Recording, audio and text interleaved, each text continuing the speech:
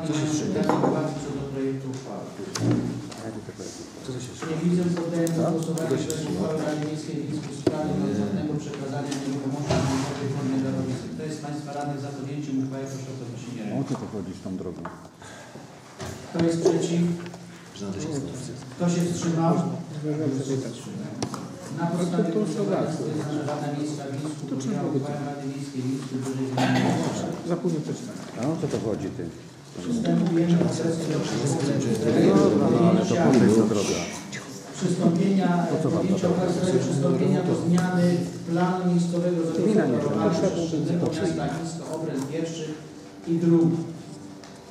Projekt uchwały omawiany na wspólnym posiedzeniu komisji. Komisja Rozwoju Gospodarczego. Czy są pytania, uwagi co do projektu uchwały?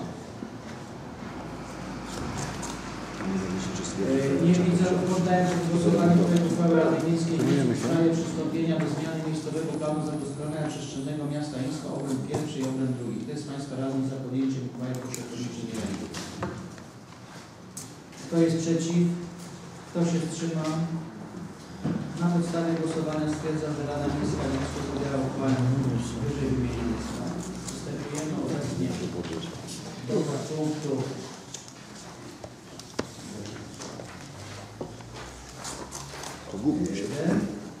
podjęcia uchwały w sprawie przystąpienia do reali- realizacji projektu yy, Plan rekultywacji składowisk odpadów komunalnych na terenie Związku Miast Gmin do Rzecza Pacenty oraz gmin sąsiednich. Projekt był omawiany przez Pana Burmistrza. Komisja Rozwoju Gospodarczego zaopiniowała pozytywnie projekt uchwały. Na wspólnym posiedzeniu komisji trzy głosy za, jeden wstrzymujący. Czy są pytania, uwagi co do projektu uchwały? Y, Nie widzę, poddaję głosowanie, pod głosowanie projekt uchwały Rady Miejskiej w Mińsku w sprawie przystąpienia do realizacji projektu planu rekultywy- rekultywacja składowisk odpadów komunalnych na terenie Związku Miast i Mhm. Gmin. Centy oraz Chodzi o. Kto jest Państwa radny za podjęciem uchwały w? E, Dziękuję. Kto jest przeciw? Nie widzę. Kto się wstrzymał? Nie widzę. Na podstawie głosowania stwierdzam, że Rada Miejska podjęła uchwałę Rady Miejskiej w Mińsku wyżej wymienionej sprawy. Przystępujemy obecnie do punktu podjęcia uchwały w sprawie zmiany budżetu i zmiany budżetu na rok 2014. Projekt uchwały był omawiany przez Panią Skarbnik na wspólnym posiedzeniu Komisji. Komisja Rozwoju Gospodarczego zaopiniowała pozytywnie projekt uchwały. Trzy głosy za, jeden wstrzymujący się. Czy Państwo radni mają uwagi, pytania co do projektu uchwały? Proszę bardzo, Pan Tu jest, tylko ja mam jedno pytanie, to jest taka pozycja w dziale 710, 3903 grosze. Może by to coś Proszę rozwinąć? bardzo, pierwszym. Tak, tak. Dochody, które uzyskujemy od y, instytucji y, na y, finansowanie komisji urbanistycznej. A to- Mamy taką samą kwotę. A skąd to pieniądze są? Skąd te pieniądze są? No to my wiemy na co, ale skąd one są, te Ze 3900? wszystkich na przykład kopalni surowców mineralnych. No na przykład, czyli ale, Na przykład. no ale to my tak na przykładzie będziemy Nie tego... na przykładzie tego, ponieważ została informowana, e, Rada była informowana o tym, że są podpisane porozumienia ze szczecińskimi kopalniami surowców mineralnych, że jest podpisane porozumienie z Wisolą I trzeba za komisję zwrócić. O Jasne finansowaniu. No ale my chcemy wiedzieć, kto wpłacił te pieniądze, że my je przyjmujemy do budżetu. Kopalnie. Kopalnie lub No to od razu tak było mówić, no. Czy także Wisol, Wisoli tutaj nie ma, bo Y, To znaczy, bo na razie są planowane, bo były- była jedna kwota na 1300 To także- zł także- i jeden grosz. os- Ale planowane są jeszcze dwie Ostatnia, ostatnia komisja na przykład urbanistyczna dotyczyła akurat Wisoli. Tak. Dotyczyła Wisoli i tu śmiem twierdzić, że, Są Tak. że to chyba nie, nie akurat z kopalni, tylko z Wisoli. Ostatnia, ostatnia Potwierdzam. urbanistyczna dotyczyła planu zagospodarowania przestrzennego dla to Wisola płaci? No, a, ten. Czy są jeszcze jakieś pytania? do a ten plan dla? Wisoli to w tej kadencji będzie uchwalony, czy nie? Jakie są? Plan został y, zwrócony do, Poprawki. do poprawki, ponieważ y, nie był niezgodny ze studium. Z czym? Ze studium? Ze No studium, ale to tak. Zbyszek to było mi dać, ja bym ci to poprawił, chłopie. Co tam chciałeś wybudować? Proszę Pana, czy są pytania co do projektu uchwały jeszcze? E, Nie widzę, podjęłem głosowanie projekt uchwały Rady Miejskiej w sprawie zmiany budżetu zmian budżetu na 2014 rok. Kto jest z Państwa radnych za podjęciem uchwały? Proszę o Ja bym ci to zrobił, brawo. No jasne. Kto jest przeciw? Nie widzę, kto się wstrzymał. Nie widzę na podstawie głosowania. Stwierdzam, że Rada Miejska... Zbyszek, jak ja zostanę burmistrzem, od razu masz ten plan uchwalony, chłopie. Przystępujemy obecnie do podpunktu F. Podjęcia uchwały w sprawie zaciągnięcia pożyczki. Projekt uchwały był omawiany na wspólnym y, posiedzeniu komisji. Komisja Rozwoju Gospodarczego zaopiniowała pozytywnie.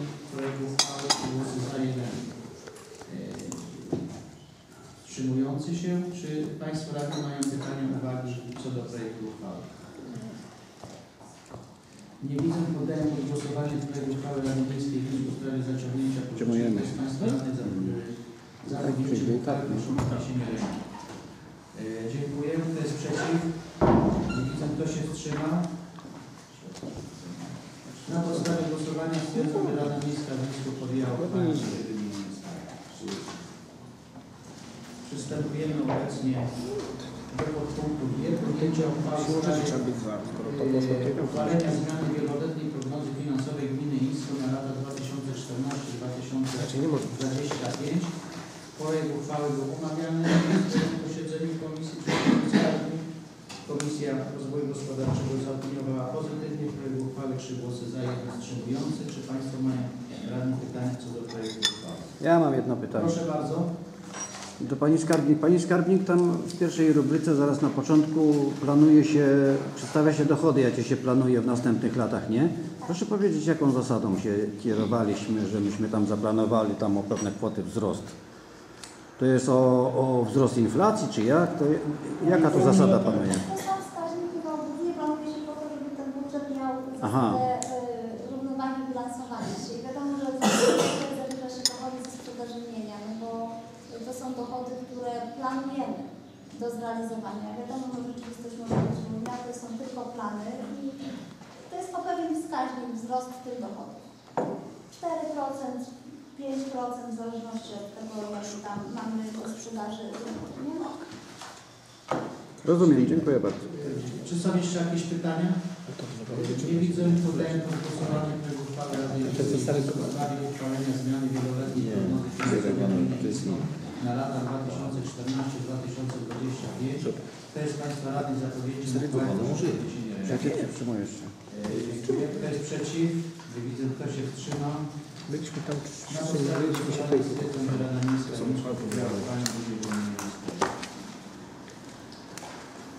Przystępujemy obecnie do punktu K. Podjęcia uchwały w sprawie zmian Czyli to jest ta uchwała, o której się kłóciliśmy. 22 łamane na 106 łamane na 2007 Rady Miejskiej Miejskiej z dnia 14 listopada 2007 roku.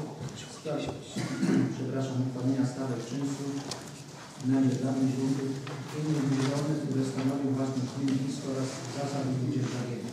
Czy Państwo radni mają pytania, uwagi co do projektu uchwały? Nie widzę problemu pod głosowaniem projekt uchwały Rady Miejskiej w Mińsku w sprawie zmiany uchwały nr 12 na łamane na 106 To jest uchwała, która tak się roku w sprawie ustalenia stawek czynszu za dzierżawę gruntów innych zielonych, które stanowią własność Mińsko oraz zasad ich wydzierżawienia. Kto jest z Państwa radnych za podjęciem uchwały, proszę o podniesienie ręki.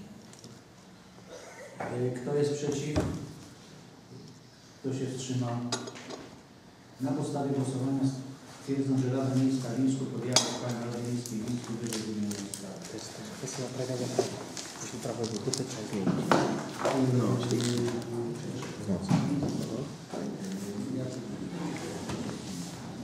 Przystępujemy obecnie do punktu siódmego, odpowiedzi na zapytania i interpelacje radnych sołtysu. Przystępujemy do punktu ósmego, wolne wnioski. Proszę bardzo, można zadawać wolne wnioski do Pana Burmistrza. Te wnioski ja chciałbym Państwu podziękować za udzielenie absolutorium. E, Także bardzo dziękuję, ale przede wszystkim chciałbym podziękować wszystkim za pracę nad budżetem ubiegłym roku. Radnym, wszystkim, wszystkim radnym, e, bo pozycja jest jak najbardziej potrzebna, żeby nas mobilizować do lepszego działania, do, do szukania dochodów, do osiągania lepszego wyniku. Wiecie Państwo, że mm, rok szczególnie 10, 11, no może nie 10, ale 11, 12 był bardzo, bardzo trudny, to były bardzo trudne lata, jeżeli chodzi o finanse gmina, a naszej gminy także. Eee, Mieliśmy bardzo poważne problemy z płatnościami, nieraz na tej sali się za to. Eee, No i słusznie. I słusznie było to oczywiście mobilizujące dla, dla mnie, dla, dla współpracowników, także dziękuję Pani Skarbnik. Yy, Naprawdę tu nie zazdroszczę te- tamtych czasów, kiedy telefony się urywały, yy, mieliśmy, no nie mieliśmy płynności finansowej, yy, bardzo źle się pracowało. No na sesjach to, to było widać.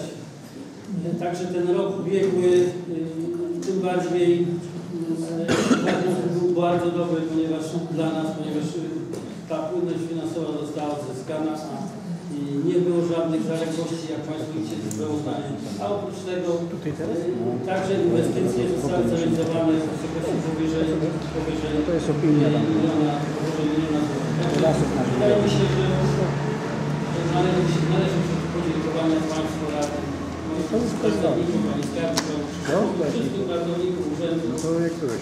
e, za to, że udało nam się opanować ten kryzys i wyjść na prostą, odzyskać tą płynność.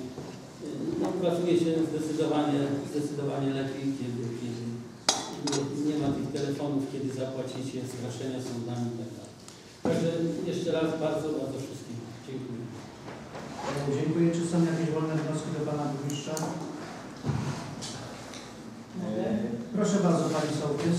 Panie burmistrzu, ja bym chciała, żeby WOD y, przeczyścił kanalizację, nie kanalizację, tylko wodociągi, ze względu na to, że po odkręceniu kranów tu na górze, jak my mieszkamy, nie na dołku, po, jak jest y, do Waliszewa, po podmoczeniu woda strzela po prostu z kranów, tak?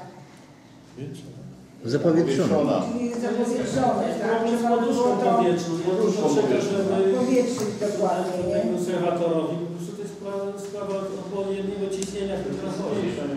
Ale to, już- to już jest z nimi, to, to, to jest tak zwana walka z wiatrakami. To jest w bardzo takim razie dużo. przekażę panu dyrektorowi Tomkowo tę sprawę. To, Być to już nie pierwszy raz znamy. może jakiś no, no jest jakaś wada w samym, w samym hydroforze, ale No coś musi być nie? Wytrąca, po prostu wytrąca ludziom y, garki, Szklanki. szklanki, garki z rąk. Jak, już powietrze. szklankę po ten, szklanka leci. Takie mocne... Dziękuję. Czy jeszcze są jakieś wnioski? Proszę bardzo. Powietrze, dlatego. Proszę bardzo No i od razu.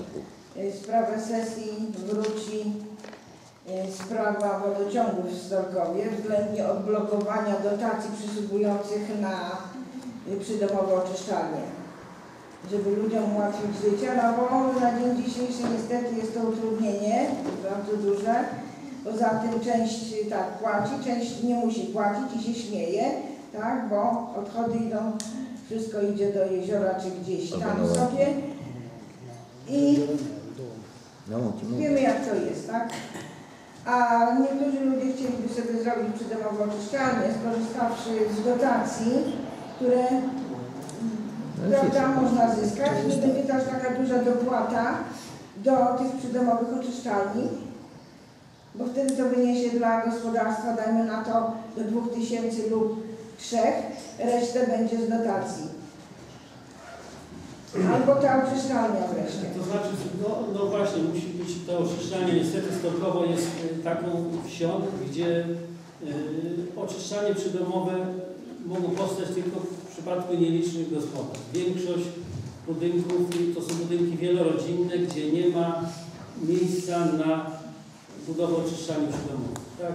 Inaczej jest w Gronówku, inaczej jest, jest w Czertyniu, w Studnicy, gdzie zabudowa jest luźna, jest, y, mamy duże, duże przestrzenie wokół budynków y, i tam można budować oczyszczalnie przydomowe. Natomiast y, większość y, budynków mieszkalnych w Storkowie jest tak zlokalizowana, że nie ma możliwości wykonania oczyszczalni przydomowej i my kiedyś po prostu kierowaliśmy się, podejmując taką decyzję, że w Storkowie nie będziemy dofinansowywać budowy oczyszczalni przydomowej, ponieważ no, naszym celem jest budowa jednej oczyszczalni dla całej miejscowości.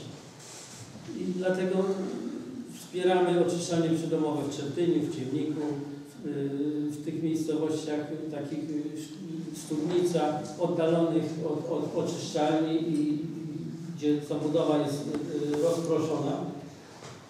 Natomiast w Storkowie musi powstać zbiorcza kanalizacja, tak z tego względu, że, że większość, większość budynków nie ma możliwości y, budowy e, oczyszczalni, lokalizacji oczyszczalni przydomowych i w związku z tym y, no nieracjonalne byłoby z punktu widzenia gminy, oczywiście z punktu widzenia tych mieszkańców, którzy mieliby tą możliwość, jest to jak najbardziej racjonalne, żeby gmina dołożyła. Natomiast z punktu widzenia gminy mm, nieracjonalne by było dopłacanie w Storkowie, ponieważ y, my musimy skierować środki na, na budowę y, kanalizacji zbiorczej dla całej gminy, a także po wybudowaniu tej kanalizacji no, zależałoby gminie na tym, żeby jak największa ilość wtedy mieszkańców się podłączyła. Natomiast y, budowa y, kanalizacji przydomowej jak gdyby spowoduje, że już te, te nieruchomości nie przyłączą się do kanalizacji.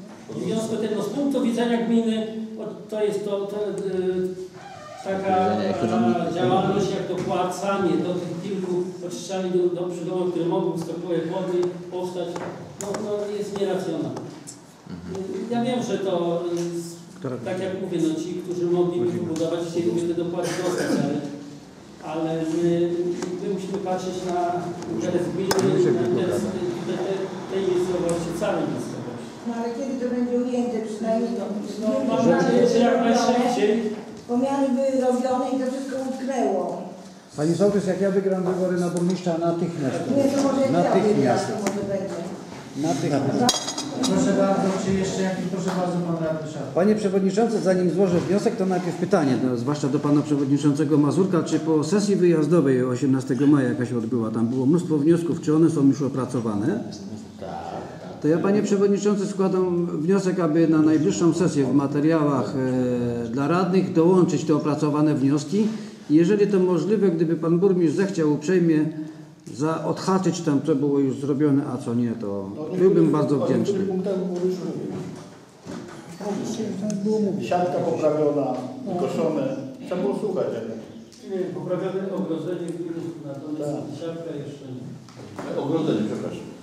Siatka nie, dlatego że w tej chwili no, A ten drut kolczasty zniknął już? na przygotowaniu plaży, na przygotowaniu Mińska do, na przyjęcie gości.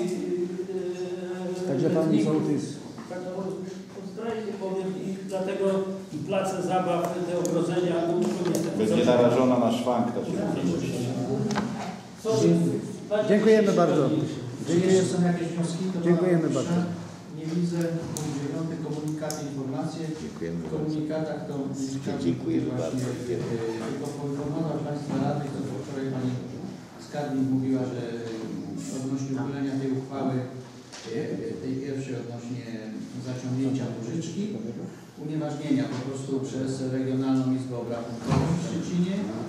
Wpłynął taki dokument i drugi dokument wpłynął w sprawie stwierdzenia nieważności części uchwały nr 36 łamane na 246 2000 Rady Miejskiej w Mińsku z dnia 27 marca 2014 w sprawie wyrażenia zgody na wyodrębnienie Funduszu Sowieckiego w 2015 roku.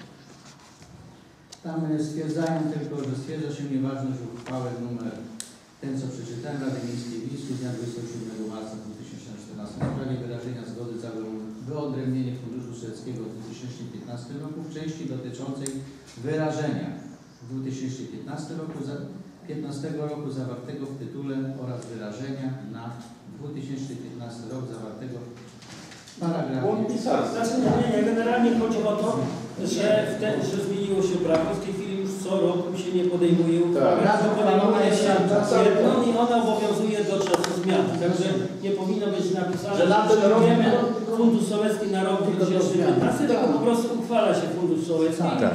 i, i, i ten fundusz daty. będzie działał, aż Państwo, po- czy już następna Rada podejmie uchwałę, że, Nie wyodrębniamy od następnego roku funduszu nie chce. Tak, tak- tak. Czyli nie, nie ma potrzeby zajmowania, Nie podejmowania ma takiej tego opcji, bo pan na tym będzie. Także ten, ten, ten Oczywiście. e, zapis, że będzie uchwała jest na rok Pewnie, że będzie. I kasa będzie. To tyle co w komunikatach. I przetarg na, na tym będzie we wrześniu robiony. Zakończenie obrad zamykam obrady 38 sesji Rady Miejskiej w Wisku. Jedziesz? Jeszcze na zakup chwilu przetarg Co ty się o plan pytasz? Co? Jak taką firmę? Co teraz? Co?